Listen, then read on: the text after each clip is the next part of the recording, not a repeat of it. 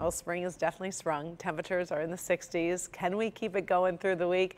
Let's get a sneak peek at the first forecast with Ben. It's gorgeous out there. It is, Karen. We'd love to continue this, and we may tomorrow. Uh, and then things start to go south in a hurry as we head towards the end of the week. But temperatures did make it to 70. It's really the third time this year that that's happened. It's a possibility we did set a record, at least uh, for the warmest temperature of the year so far, but it will be in between hours. We won't know that till 4:30. Otherwise, temperatures upper 60s and that strong south wind really helping the cause. Rain not too far off. We can see some of it there in Chicago and starting to work its way into Lake Michigan. We're not expecting that until tomorrow, but it's the first of three rounds in seven days that we're staring at.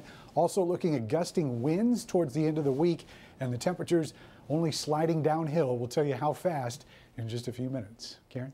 All right. Thank you, Ben.